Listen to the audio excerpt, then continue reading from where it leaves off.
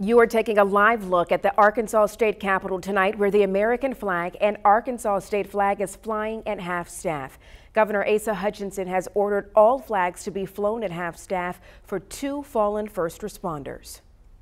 One of those is this man, Sergeant Joshua Caudell with the Department of Corrections. After more than 30 hours of searching, the man accused of shooting and killing Sergeant Caudell is in custody. THV 11's Jade Jackson has more on the memorials for the officer today and the defiance from the suspect. Early Monday morning, Sergeant Joshua Caudell of the Department of Corrections was fatally shot while assisting local law enforcement. He was 29 years of age and a married father of three. The Pulaski County Sheriff's Office has named a certain individual as the suspect in the shooting. That suspect is 37-year-old DeMark Lee Jordan, seen here as law enforcement escorted him to the Pulaski County Detention Center Tuesday morning. Breaking my house to try to kill me. No, let me talk.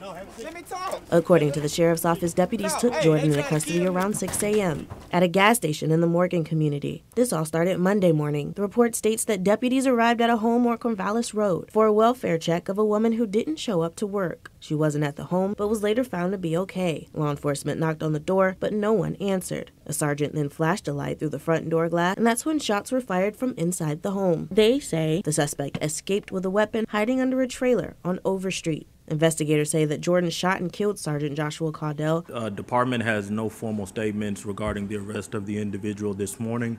Uh, we would continue to ask the people of the state to join us in prayer for Sergeant Caudell's family and continue to celebrate his life of service. For us, that is most important right now. The governor expressed the state's gratitude to Sergeant Caudell's family for his service. Jordan now faces one count of capital murder and two counts of criminal attempt to commit capital murder. In Pulaski County, Jade Jackson, THV 11 News. Jade, thank you. Jordan's first appearance in court will likely come tomorrow. Public court records indicate he's already on probation for gun possession.